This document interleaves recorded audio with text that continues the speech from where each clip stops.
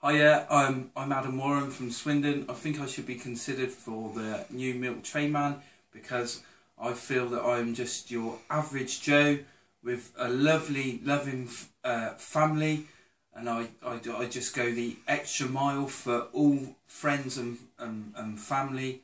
Um, I'd like to take this time just to say thank you for taking your time out to look at my video and I look forward to hearing from you. Thank you very much.